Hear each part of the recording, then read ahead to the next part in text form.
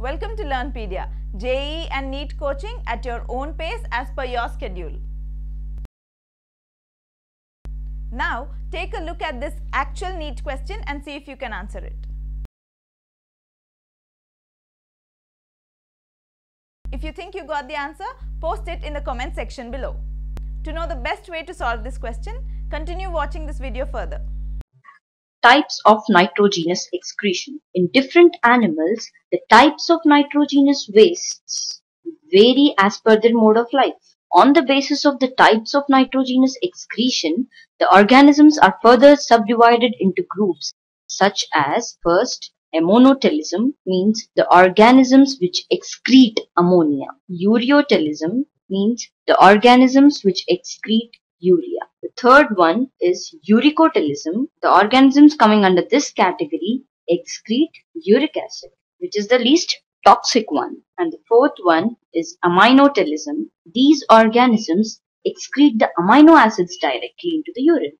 Beginning with ammonotelism. Ammonotelism includes the organisms which excrete ammonia, which is the highly toxic nitrogenous compound. This ammonia is formed as a result of deamination of proteins or amino acid metabolism. Being highly soluble in water, it directly diffuses and dissolves in the surrounding water. The examples which come under this category are sponges, coelenterates, mollusks, earthworm, when in water, freshwater fishes, and aquatic amphibians such as salamanders, etc. Ureotelism. The organisms which come under this category excrete urea.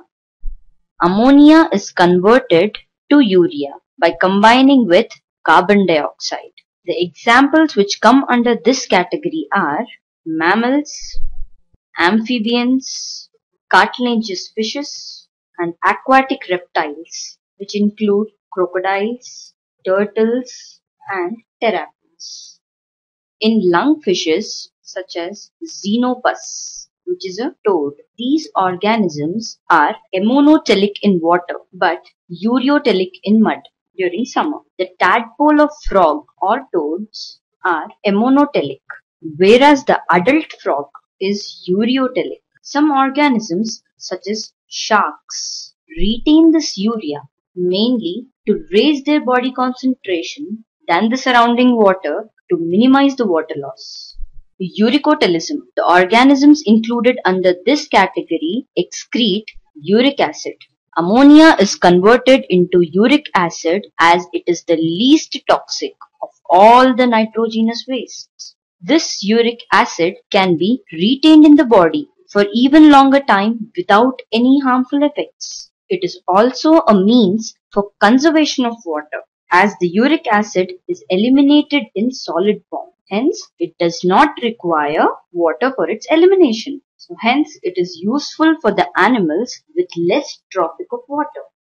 The examples which come under this category are insects, reptiles, birds, land snails, and land crustaceans. The white material present in the droppings of birds, lizards, and reptiles consists of insoluble crystals of urate. In this form, it is commercially obtained from the bread droppings, which is known as guano. So this is the commercially obtained product. Aminotelism. These organisms excrete amino acids directly from the body. The examples which come under this category are few mollusks such as Unio and Limnaea, echinoderms. These are the organisms which excrete the amino acids directly from the body, hence they are known as aminotelism. Coming to other nitrogenous wastes, trimethylamine oxide. Trimethylamine oxide is produced from ammonia. Ammonia is first methylated, then it is further oxidized and then it forms trimethylamine oxide. The example for organisms secreting trimethylamine oxide is marine.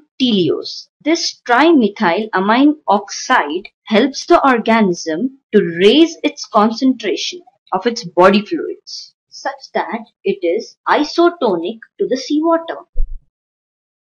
Guanine. Some organisms convert ammonia into guanine. This guanine is an insoluble substance, hence it requires no water for its excretion. The examples coming under this category are spiders, reptiles, birds, and some amphibians.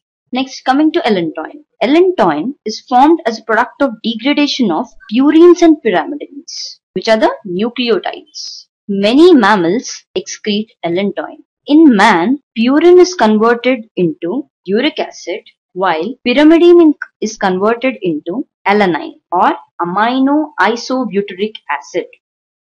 Hippuric acid. Mostly benzoic acid is formed from the metabolism of fat. This benzoic acid, which is formed from the fat metabolism, is highly toxic. So this benzoic acid gets combined with glycine to form a less toxic substance which is known as hippuric acid and the organisms which come under this category are some of the mammals.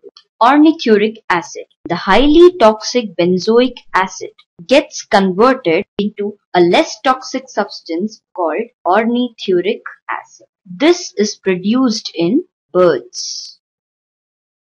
I hope you can now answer the question. You can take a look at the solution here. Found this video useful? Hit the like and share icons to enjoy more such videos. LearnPedia's JEE and NEET prep tools contain more than 4000 questions and over 20,000 solved examples.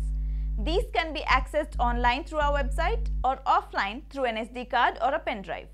To buy now, visit www.learnpedia.in.